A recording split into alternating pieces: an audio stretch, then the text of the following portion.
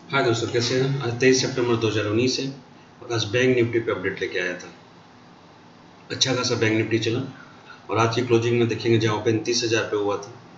High लगाता है तीस हज़ार आठ सौ एक का और क्लोजिंग देता है कहीं ना कहीं तीस पाँच सौ छियासठ का एडवांसेस दस है डिक्लाइन दो है। और कहीं ना कहीं आप देखेंगे कोटक बैंक आई बैंक और HDFC बैंक ये सब अपने फिफ्टी टू वीक हाई पे काम कर रहे हैं। और यस बैंक थोड़ा सा वीकनेस दिख रहा है। तो अगर हम बात करें कि यहाँ पे खुद देखिए एक्सिस बैंक यहाँ पे आज अच्छा खासा गेंद पे रहा है और जहाँ निफ्टी बैंक पाँच परसेंट का गेंद दिया, वहाँ पे एक्सिस बैंक सात परसेंट है कोटक बैंक सात है।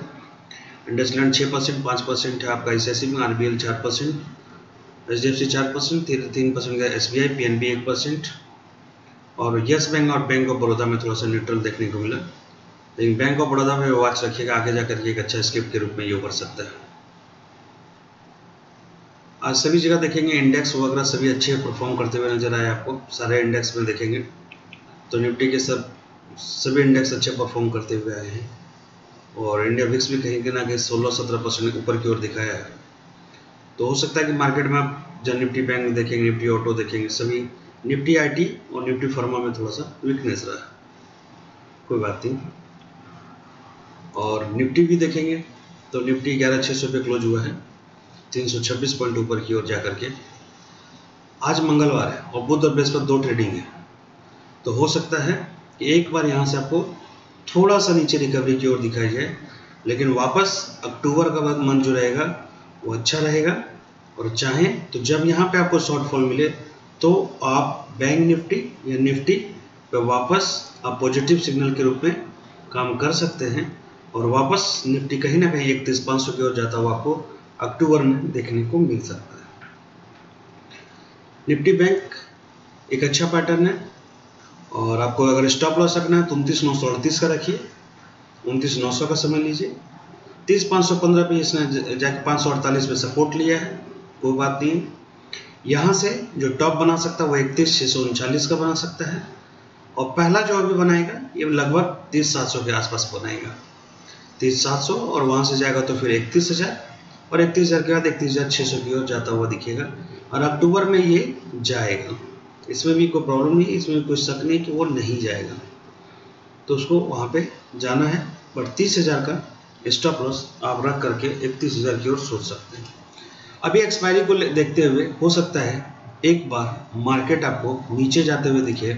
और अगर डेरिवेटिव में देखने की कोशिश करें तो यहाँ पे इकतीस एट द मनी जो 26 तारीख की एक्सपायरी है, उसको लेके बात कर रहा हूँ। अक्टूबर में मार्केट इकतीस छः की ओर जाता हुआ दिखेगा। तीस पाँच सौ छियासठ पे, छब्बीस सितंबर की एक्सपायरी की हम देख रहे हैं। ये पुट है, ये कॉल है। तो कहीं ना कहीं तीस छः सौ के आसपास क्लोजिंग तीस पाँच सौ पे हुआ है। जो लास्ट रेट प्राइस है इसका, तीस पाँच सौ चार सौ उनचास है। और आपको यहाँ पे जो लास्ट रेट प्राइस है, वो चार सौ का है पुट पे। और अगर इधर देखें तो यहाँ पे तीस हज़ार में पाँच लाख, सोलह हज़ार का सपोर्ट है जैसे पाँच लाख का ओपन पोजीशन आज ही बना हुआ है। शॉर्ट की पोजीशन बनी सपोर्ट यहाँ पे पाँच लाख, सोलह हज़ार है। और ऊपर की ओर देखें तो पाँच लाख इकतीस हज़ार पे है। ये तीस से इकतीस हज़ार हज़ार पॉइंट के रेंज में हो सकता है, लेकिन जो मुझे लग रहा है, हो सकता है आपको यहाँ से एक बार ये ऊपर की ओर जाए तो जाए, तीस सात सौ की ओर जाए। नहीं तो वापस आपको एक बार शॉर्ट कवरिंग इतनी चुकी बढ़ चुका है मार्केट तो वहाँ से एक बार तीस हज़ार की ओर जाता हुआ आपको एक बार दिख सकता है। तो अगर तीस हज़ार का जो लास्ट ट्रेडेड प्राइस है, वो दो सौ तीन रुपये है। तो अगर इसको, अगर ये ऊपर जाता है तो आप तीस हज़ार का पुट तीन ट्रेड लेना है पुट की ओर। पहला तीस हज़ार का पुट लीजिए, फिर ऊपर जाता है तो और एक पुट ले लीजिए, पाँच सौ पॉइंट पे। तीस, पाँच सौ को लीजिए, अगर पाँच सौ पॉइंट ऊपर जाता है तो जो कि लगता नहीं है मुझे।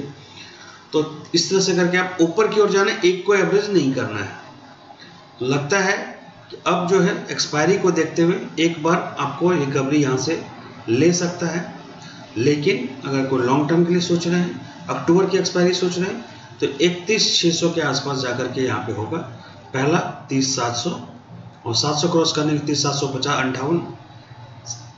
तीस सात सौ अंठावन क्रॉस करता है तो ये फिर आपको ऊपर जाते हुए इकतीस तीन सौ बीस की ओर चला जाएगा। तो तीस आठ सौ का स्टॉप लॉस से, चाहे थ्री तीस आठ सौ के स्टॉप लॉस से आप इसको नीचे तीस पाँच सौ के पुट पे ध्यान दे सकते हैं।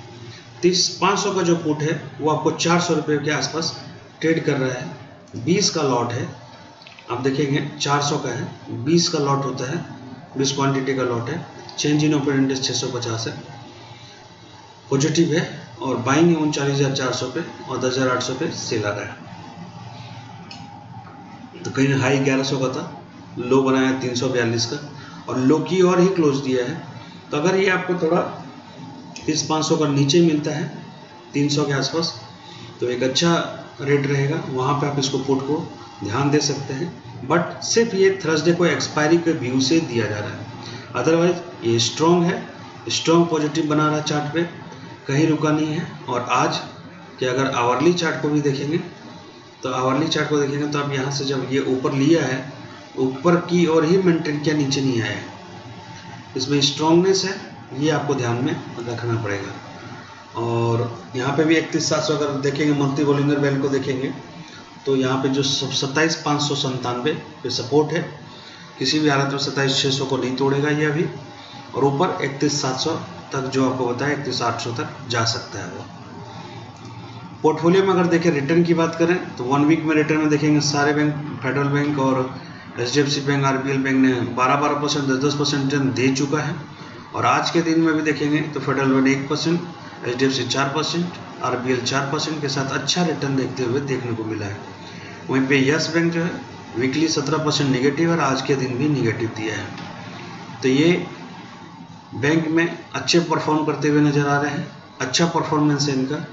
और टेक्निकल सिग्नल भी देखेंगे तो कहीं ना कहीं यस बैंक को छोड़ दे तो बाकी सब में बाइंग है एच डी एफ़ सी की न्यूट्रल है। और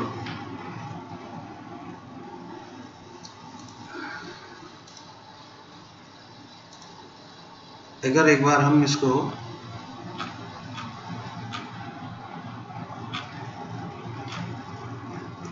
एफ़ आई डी आई की डाटा को देख लें तो एफ़ आई आज छब्बीस हज़ार दो हज़ार छः सौ चौरासी करोड़ की बाइंग किया था। ये कल के बाइंग में आपको बताया था कि कहीं ना कहीं यहाँ पे बाइंग आएगा। और देखिए एफ़ आई की बाइंग डी आई ने थोड़ा कम बाइंग किया है बट एफ़ आई ने दो हज़ार छः सौ चौरासी करोड़ की कैश में बाइंग की है। और इसके चलते मार्केट एक नए आयाम की ओर चला गया। इन सबों के बीच में एक स्क्रिप्ट है, जो कि बी है। और मुझे लग रहा है, इसमें गवर्नमेंट का कुछ अनाउंसमेंट आ रहा है कि ये शायद प्राइवेटाइजेशन की ओर जाएगा। तो आपको ये कहीं ना कहीं 541 की ओर जाता हुआ दिख सकता है अभी रिसेंटली और लॉन्ग टर्म के लिए तीन साल के लिए ये 900 का भी टारगेट हो सकता है। डबल यहाँ से हो सकता है। अभी आप चाहें तो जो इसकी क्लोजिंग हुई है बीपीसीएल की जो क्लोजिंग हुई है, वो आप देखेंगे प्राइस बीपीसीएल की क्लोजिंग तो बी पी की जो चार सौ पचास रुपये के आसपास हुई है, सैंतालीस पॉइंट ऊपर गया हुआ है ग्यारह परसेंट के एनएससी में रिटर्न है। ओपन हुआ 413 पे, और कहीं ना कहीं हाई लगाया इसने। चार सौ तिरसठ का 412 का लो लगाया। तो ये अपने हाई की ओर ही, फिफ्टी टू वीक हाई की ओर ही काम कर रहा है।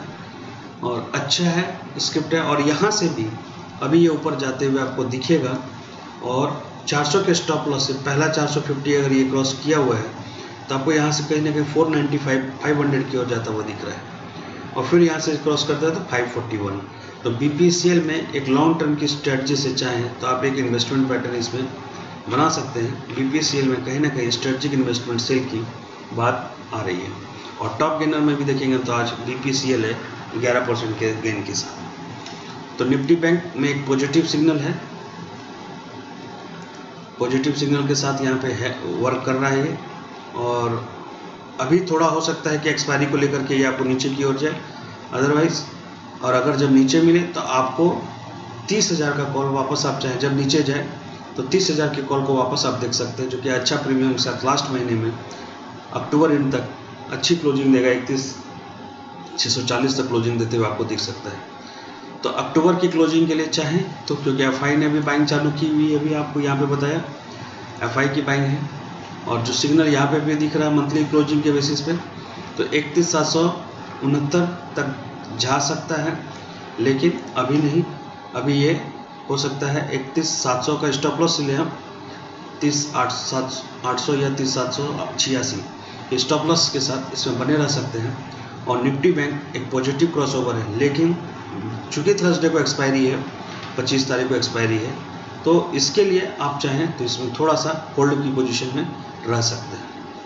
मेरा कोई भी बाइंग सेलिंग रिकमेंडेशन नहीं है। जो भी करें, आप अपने फाइनेंशियल एडवाइजर से बात करने के बाद ही करें।